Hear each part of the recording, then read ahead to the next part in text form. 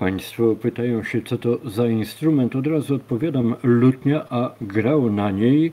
E, nie wiem, czy Państwo rozpoznali, ale Robert Jaworski, twórca żywiołaka.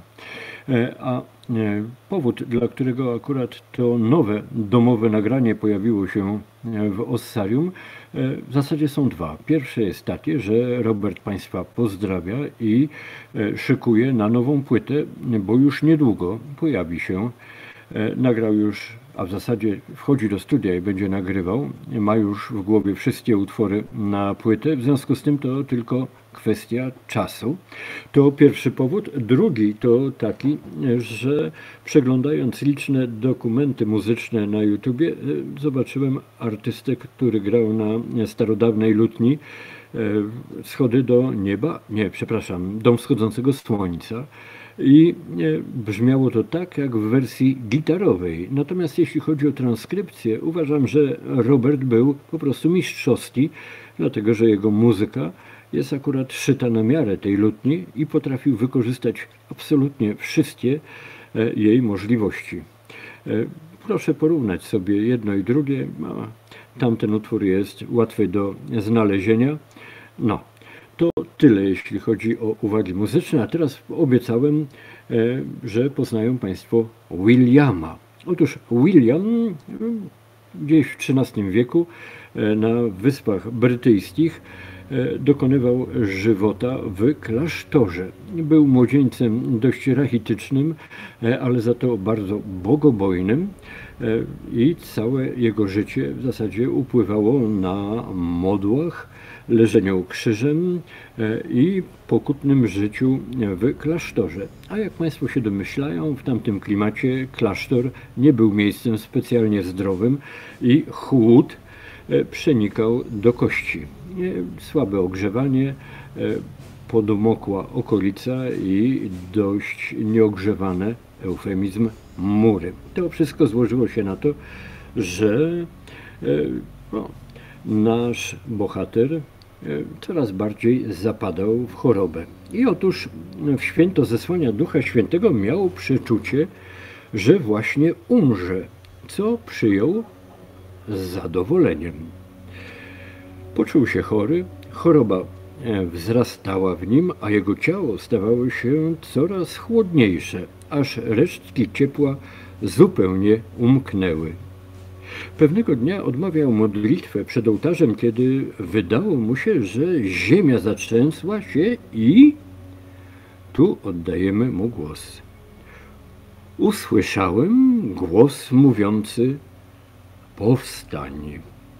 Nagle poczułem, jak dusza moja została wyrwana z mego ciała. Mężczyzna w jasnym stroju podszedł, by mnie przywitać, po czym wziął mnie i poprowadził. Spojrzałem w dół, aby zobaczyć moje ciało leżące na kamiennej podłodze, blade i martwe dla świata. Szliśmy w milczeniu po szerokiej równinie w kierunku blasku widocznego na horyzoncie, który, jak się domyślałem, był wschodem letniego słońca. Kontynuowaliśmy naszą wędrówkę szeroką doliną, zamkniętą górskimi pasmami po obu stronach. Nagle droga przed nami pociemniała i napełniła się ciemnia, cieniami. Mrok ten gęstniał dopóty, dopóki jedyną rzeczą, jaką byłem w stanie dostrzec, była błyszcząca szata idącego przede mną przewodnika. Później niespodziewanie zniknął i on, zostawiając mnie w ciemności całkiem samego. Wtedy usłyszałem głosy wielu ludzi płaczących w cierpieniu. Z lamentami mieszał się surowy śmiech. Ujrzałem demony tłoczące się wokół mnie jak małpy z płonącymi oczami, oczyma. Ten jest nasz, powiedział jeden z głosów. Pomyślałem, że jestem zgubiony. W końcu Zostałem powalony na ziemię, gdy zbliżały się do mnie demony o ciałach szorstkich i owłosionych niczym osty. Z przerażeniem dostrzegłem, że dzierżą w dłoniach olbrzymie ostrza. Przykładały je do mnie, do mojej głowy i stóp, zanurzając zimne lemiesze głęboko w moim ciele i skręcając je tak, aby moje wnętrzności przepełniał mrożący ból. Zapłakałem do Boga o pomoc. Ból nie ustawał. Wówczas ujrzałem światło wysoko na niebie, gwiazdę błyszczącą w ciemności. Robiła się coraz jaśniejsza, coraz większa, opadając i zbliżając się do mnie w szybkim tempie. Rozpoznałem w niej powracającego przewodnika.